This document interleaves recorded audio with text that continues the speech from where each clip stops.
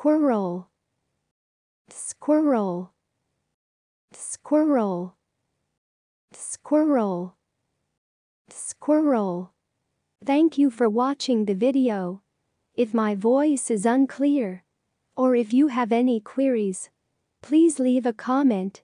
If you want to learn the accent of more words please check out my channel and subscribe.